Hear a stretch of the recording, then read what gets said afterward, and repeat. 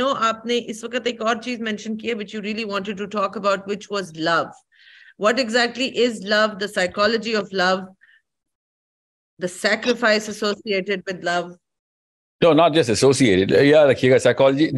मैं आपको ना machine बताता हूँ. Let me just keep this two two parallels alive in this whole discussion. एक अल्लाह ताला ने जो मशीन बनाई है तो अल्लाह ताला ने उसका मैनुअल दे दिया हमें ओके okay? और एक साइंस है जो कि पूरी तरह बॉडी को स्टडी कर रही है माइंड को स्टडी कर रही है इस वक्त which is the psychology and the neurobiology and the basic biology वो अब हमारे सामने दोनों रेलम्स क्लियर हो चुके हुए हैं, ठीक है और मुझे न्यूरो में जाने का मकसद भी मेरा ये था और उसमें रहने का मज़ा भी मेरा यही था कि ये तो सारा, काश ये मुसलमान न्यूरो पहले पढ़ लेते कुरान पाक की जिसकी सेंस क्रिएट हुई है and I only study Quran वो six years under to to tutelage बाकी तो ये सेल्फ स्टडी होती है आपकी तरह मेरी है, हर कोई मुस्लिम, मेरी ट्यूटलेज के अंदर उन्होंने मुझे साइंस के वो परस्पेक्टिव अभी खोल के नहीं बयान किया क्योंकि not scientist they were just indicating towards this जब मैं साइंस के अंदर जा रहा था तो I found the bigger answers bigger answers कि भाई, ये तो अल्लाह ताला ने मशीन का मैनुअल इसी तरीके से बनाया हुआ है। अब आते हैं द डिस्क्रिप्शन कि साइकोलॉजी ऑफ़ लव क्या है इस्लाम में? क्या साइकोलॉजी में है? या it's just a fashion word जो कि फ़िल्मों की वजह से है? No it is in there in Islam अल्लाह ताला ने कुरान पाक में लव का लव इस्तेमाल किया हुआ है। यहाँ तक कि अल्लाह ताला ने इसको सेंट्रल फिगर बताया हुआ है कि तुम मुसलमान ही नहीं हो जब तुम्हारे अंदर लव ही नहीं है तो। लिटरली हदीस भी बड़ी क्लियर है आयत भी बड़ी क्लियर है। अब वो कैसे? क्योंकि अल्लाह ताला ने कहा कि भाई ये जो लव है ना लव इसका मतलब आसान सा एक ही लफ्ज में बता रहा हूँ। लव ध्यान से बोलना, क्योंकि लव का मतलब कुर्बानी होता है। कैजुअली बोलोगे तो तुम कंफ्यूज हो जाओगे। लव का मतलब है कि अपने आप को वक्फ कर, अपना जिसम का खुलिया निकाल के दे दे, जिससे तू प्यार करता है। अल्लाह ताला ने कहा कि इसलिए किसी दो चीज़ों का लव तेरे दिल में रह ही नहीं सकता। अगर you are true lover you are going to give everything that you have to that that being इसलिए अल्लाह ने कहा कि अल्लाह और उसके रसूल से ये लव का रिश्ता रखना, नीचे जितनी भी मखलूक आएगी, वो तू इस सेंट्रल कॉन्सेप्ट की वजह से तुझसे बेनिफिट ले रही होगी। You are going to sacrifice everything you have for the people because तेरा पर्पज जो है ना, वो अल्लाह से प्यार है। ठीक है? इसलिए नबी साहब ने कहा, तुम में से कोई मुसलमान ही नहीं है जब तक कि वो अल्लाह और उसके रसूल को अपनी किसी भी चीज़ से ज़्यादा प्यार ना हिब्बू का लफ्ज है। भाई, इससे ज़्यादा प्यार नहीं कर सकते आप। ये सेंट्रल फिगर है। तो क्या बीवी से नहीं प्यार कर सकता? मैं करेंगे, क्योंकि आप अल्लाह ने कहा, कह दिया भाई, इसलिए करेंगे। See the concept of love is कि मैं अब सब कुछ कुर्बान करूँगा, क्योंकि मुझे, मैं अल्लाह का पुजारी हूँ, मैं अल्लाह से मोहब्बत करता हूँ। ये असली इश्क। इसको central figure of Islam declared it's not मैं मैं कोई सीक्रेट नहीं रिवील कर रहा हूँ आपको। Everybody knows it but we don't look at it from the perspective के लव की एक्चुअल साइकोलॉजी क्या है। अब अगर खुद सोचे, अल्लाह ताला गैब में ना होते तो हमें वाकई में रेसिप्रोकेट होती है फीलिंग अल्लाह ताला ने इस लव को सेक्रीफाइस के एलिमेंट के लिए टेस्ट करने के लिए दुनिया के निज़ाम के अंदर अपनी इंटरवेंशन बंद की अल्लाह ताला ने कहा, मैं नहीं हूँ ये चाहते हैं कि मैं बादलों के पर फरिश्तों के पर लगा के बादल पे आके बैठूं उनके सामने.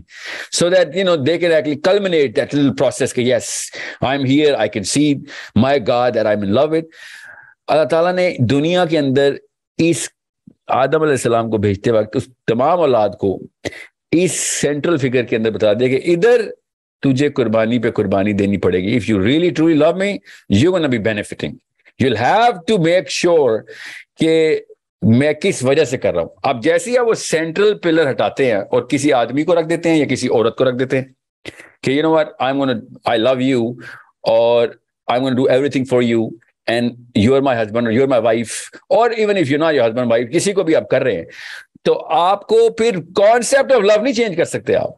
You can not be hungry for I love you toos claiming that you're in love that is not love क्योंकि love is a sacrifice you are you looking for I love you toos I love you is a very loaded statement अगर लोगों को पता हो क्योंकि इसमें जो hidden contracts हैं जो हिडन एक्सपेक्टेशंस हैं वो इतनी लोडेड हैं आई लव यू विच कहा तो तीन हर्फ बट नाउ इसके साथ दस और चीज़ें अटैच्ड हैं। You need to tell me I love you too and then you need to do this this and this and also it means that you can never love not in love okay? They're in love are the expectations with yeah. these three small words? I love yeah. you के साथ बहुत ज़्यादा expectations होती हैं जिनको मैं hidden contracts नहीं कहती हूँ। तो उनको यही समझाने की ज़रूरत है ना कि यार ये लव वाला लफ्ज जो है ना इसको पिटाना बंद कर दो ये दो नंबरी है। लव का मतलब हम सबको पता है। और वो माँ ने बच्चे के लिए करके दिखाया है, बाप ने बच्चों के लिए करके दिखाया और वो ट्रू लवर्स ने करके दिखाया है। ट्रू लवर्स ने जान दिया एक दूसरे के लिए कि without you know I am gonna push you out of the road and come in front of the bus myself to without blink of an eye ठीक है? मगर अगर वेस्टेड इंटरेस्ट रखे में कि I am hungry for I love you too otherwise you know what I am not gonna love you so you don't even love me from from from from from the beginning love का मतलब है मैं इसलिए कह रहा था अल्लाह गैब में है व्हेन वी ट्रूली लव अल्लाह अज़्ज़ा वजल we never hear I love you too you know what I'm saying? sometimes you do No, we don't. We don't really hear it. Hear it. Now, I mean, उस तरह नहीं हाँ हज़रत Yeah. नहीं नहीं मैं आपको बताऊँ मुसलमान का मुसलमान की साइकोलॉजी की ट्रेनिंग अभी कर दूँ यहाँ पे सबकी कि अगर आप अल्लाह से प्यार करते हैं मैंने आपको पिछले सेशन में कहा था ना कि आपकी और मेरी पर्सपेक्टिव डिफरेंस ये है कि आप अल्लाह को बेस्ट फ्रेंड के you love with Allah I totally believe it हर बंदे की यूनिक एक एंगुलर पर्सपेक्टिव होता है मेरा तो कॉन्सेप्ट ऑफ़ लव के बाद I was trained into this concept by a teacher. He was 91 year old man when I became under his tutelage, and he he was a Muslim scholar, and he told me कि भैया ये लफ्ज ना casually बोल ये किसी भी ये सबसर्वियंट लफ्ज है। तुझे ये बिसीज करवाने का लफ्ज है। ये तेरा ईगो क्रैश करने का लफ्ज है। और तू ईगो सिर्फ़ अल्लाह के आगे क्रैश करेगा। और अगर तूने अल्लाह के आगे ईगो क्रैश कर दिया है तो तूने पहला कदम उठाया। कोई एहसान नहीं किया। अभी लव स्टार्ट हो रहा है। ओके अभी तो तूने इतनी कुर्बानी देनी है। मुसीबत पे मुसीबत आएगी और तूने कहना है हाँ ठीक है और दे। और दे। मैंने इसलिए कहा था पिछले सेशन में कि पता ही तब चलता है जब मुसीबतें आती हैं कि हाँ अल्लाह मुझसे प्यार करता है। हज़रत उस्मान गनी रज़ी अल्लाह ने कहा कि तुम पे अगर एक साल तक कोई मुसीबत नहीं आई तो समझ लो अल्लाह तुमसे नाराज़ है। ओके नबी इस्लाम ने शाह फरमाया कि क्यामत वाले दिन लोग सर ज़मीन पे पटक रहे होंगे और अपने आप को जख्मी करने के लिए कि दुनिया में मुसीबतें क्यों नहीं दी आज पता चले मुसीबतों के फ़ायदे। अली बिन अबी तालिब ने कहा कि मोमिन को अल्लाह ताला रिस्पांस देते हैं मुसीबत से, कि तेरा ईमान आ गया, ये ले मुसीबत। ताकि दुनिया में तू पूरी तरीके से क्लेंज हो जाए, टेस्ट हो गया, तेरा लव टेस्ट हो रहा है यहाँ पे। छोटा सा है ना असल में। यहाँ पे लोग कहते हैं, अल्लाह ताला के प्यारे हो और मुसीबत में आ रहे हैं। जी, अल्लाह के प्यारे ही तो मुसीबत में इस्लाम की साइकोलॉजी बड़ी क्लियर है।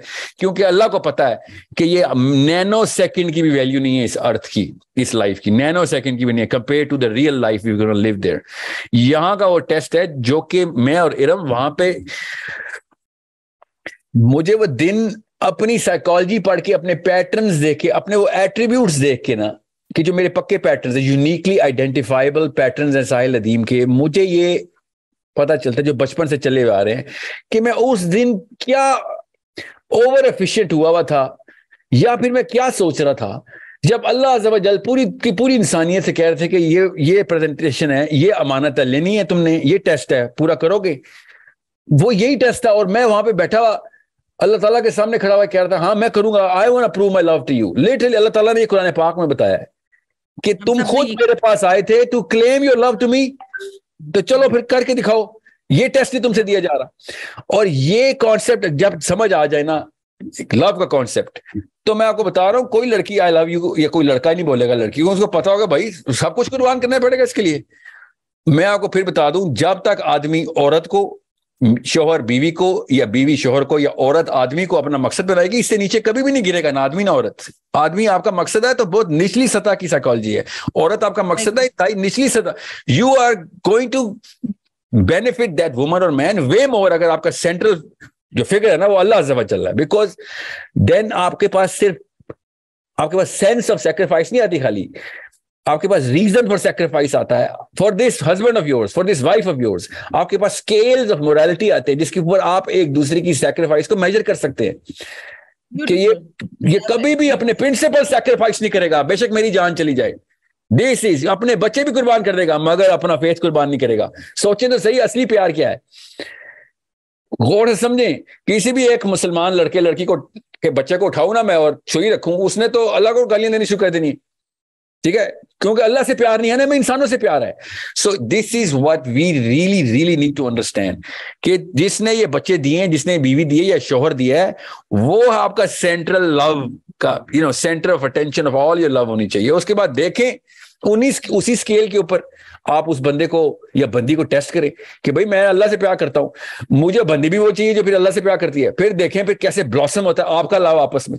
Because then you get connected through the core of philosophy जो ट्रायंगल है वो बहुत एक बिल्कुल ये ट्रायंगल ही बोलता हूँ मैं भी इसको कि भाई ट्रायंगल अगर आपका है ना अगर इट इज़ मैं आपको एक चीज़ लास्ट में बता दूँ बिफोर आई मैंने ना जितने भी रिश्ते देखे, छोड़े प्यार मोहब्बत के रिश्तों को, दोस्तियाँ भी मेरी मेरी भी I was a friend of friends I million friends मेरे सिर्फ़ वो दोस्त मेरे साथ रह गए जो फिलोसॉफिकली अलाइन थे मेरे साथ, जिनका फलसफा मेरे जैसा था, जो दुनिया में बड़े पर्पज के लिए, कोशिश करने के लिए, कुछ भी करने के लिए तैयार थे।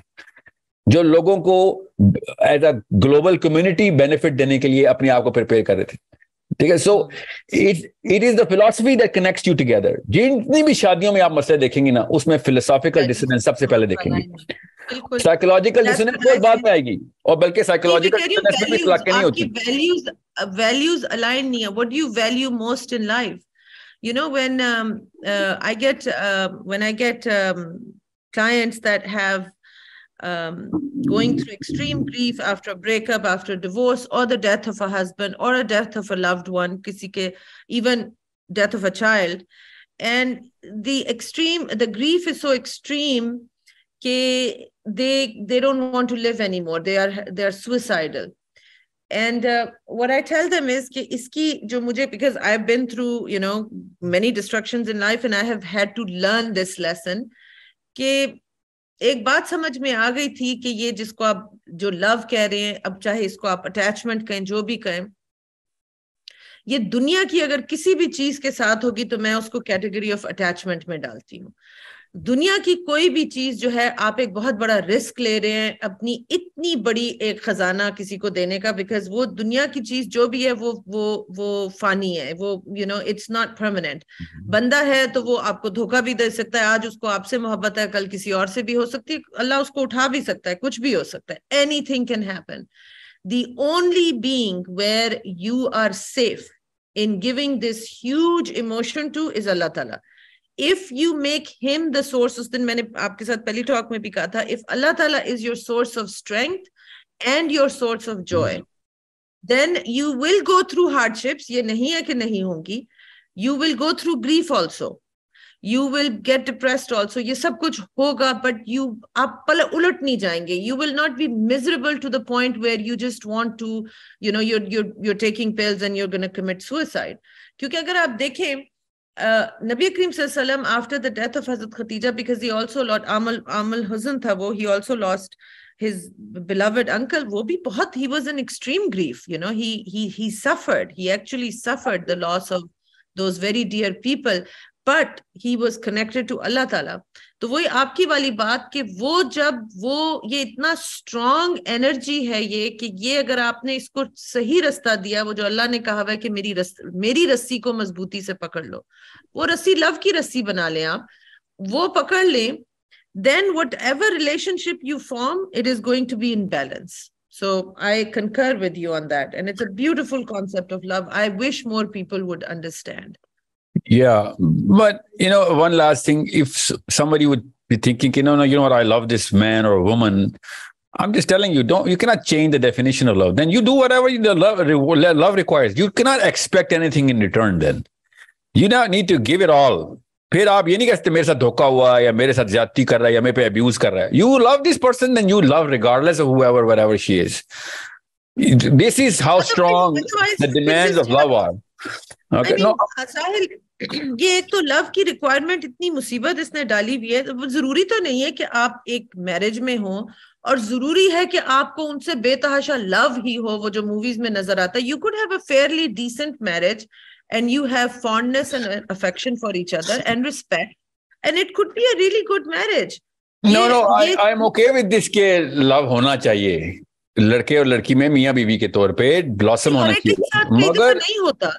नहीं नहीं ना हो ना हो शादी का कोई ताल्लुक नहीं है कि शादी अच्छी रहेगी बुरी रहेगी एक्चुअली यूल बी अमेज के ये लव की जो परवर्टेड डेफिनेशन हमने ली हुई है ना उसकी वजह से ज्यादा शादियां टूटती हैं rather than the other marriages which are like you know a little careful about this concept that's why i'm saying this because when women say to me i'm not in love with him anymore oh bhai what do you mean you're not in love with him anymore do you have fondness for him do you have affection did you love him at one point in time So there is some reason why you are now distant and whatever both parties are are making a contribution towards that distance, let's figure that out. और ये आहिस्ता आहिस्ता देखिए साहिल कई दफ़ा आप वो जो couples तीस पैंतीस चालीस पचास साल एक दूसरे के साथ रहे होते हैं ना वो एक हिस्ट्री भी उनकी there is investment in history they have a lot of history together they have built a life together उससे भी बहुत बॉन्ड बनता है you know so it doesn't have to be this um,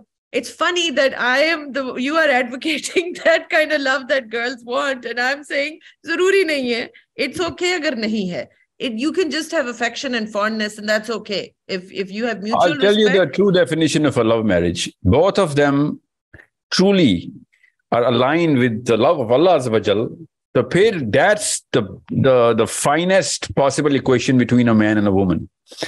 अगर आपने मर्द को सेंट्रल फिगर दी हुई है या औरत को तो वो तो गलती करेगी वो तो आपको वो वाला वो तो आपको पेन उस बेचारे की नीयत ठीक भी होगी तो उसके अंदर कैपेबिलिटी नहीं है to handle that sort of a burden ठीक है वो वाला बोझ नहीं उठा सकता ना उठा सकते हो।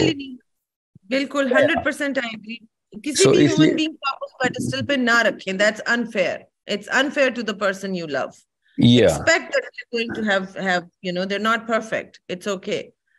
Yeah. So